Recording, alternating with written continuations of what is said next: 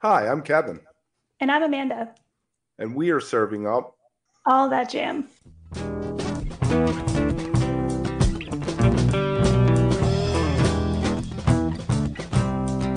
All that jam. Quick hit.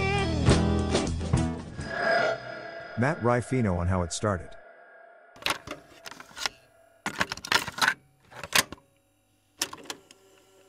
So I read that you kind of got into this work.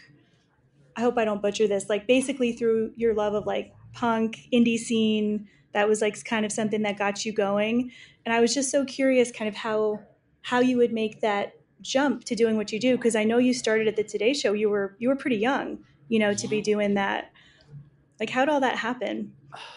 I just started really early. So I was about 12 years old and I had been playing guitar for a few years. And I'm like a kid of the 80s and 90s. So when I was really young, like the Buddy Holly story was out and La Bamba was out, and it was like all these 50s, 60s rockers. And I just thought that was so cool. And I was in, I don't know, nine or 10, something like that. And and that just resonated with me and there was so much music in my house that you know my dad was really into the dead and like all these different bands steely dan so my whole life there was just music all around and so just playing guitar, I convinced my grandfather to buy me a four track cassette, which was like how you demoed back then.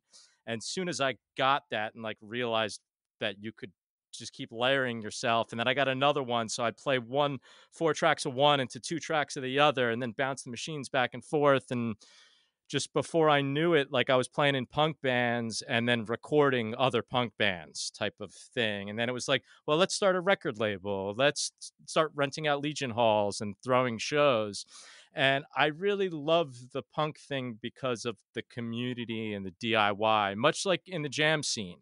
You know, and it's funny because at the same age that I was listening to like the Sex Pistols and the Gorilla Biscuits, I was listening to the Dead and the Allman Brothers. To me, they're all kind of punk rock you know, because like the Dead is more punk rock than any punk rock band that's on the radio today. As far as I'm concerned, there was no computer to fix them in. That's more raw. Like they're closer to the Ramones than My Chemical Romance or some new band is to what punk is to me. People tend to miss the, the anarchy thing, the embracing of anarchy by the counterculture in the 60s and the punks it's you know the energy at, at you know it's funny on youtube i recently came across a show i was at when i was 16 or 17 it's like a punk rock show and there's like a thousand people there and i'm getting piled i'm in the front screaming and singing along and there's 300 pound guys stage diving over my head and I, you could see me in the video like 16 year old me i could care less i'm living it up and it's that same energy that like a jam band has when they're at the edge of a show and the PA is like just breaking up right and you don't know if that next note is going to be right or wrong but you're just in the moment it's the same energy the music styles might be different but that energy and that's like the real music to me like that's the excitement of it being on that edge all the time and that's what I try to bring to mixing and to sound is I want everything to be big and full and nice and pretty but I kind of like that one Bob Ross thing to kind of stand out where you like plant the thing in the middle of it and it's not supposed to be there, but it's the standout thing all of a sudden. When you first hear it, you go, ooh, I don't know. And then you go, that's the thing, you know? And if you can find that, those are usually the good the good stuff, you know? That's usually the good stuff.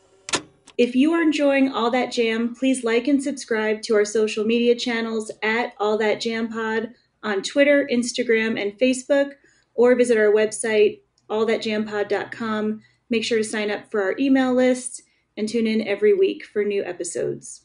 Also, look for full interviews on our YouTube channel. And remember, stay beautiful, but don't stay underground too long.